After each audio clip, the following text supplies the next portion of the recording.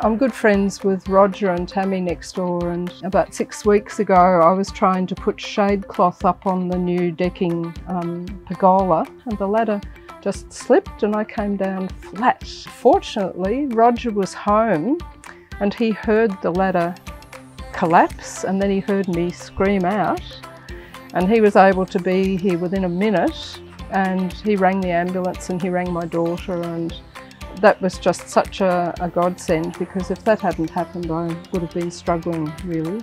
That was very good to have a neighbour who was there and you know who you know.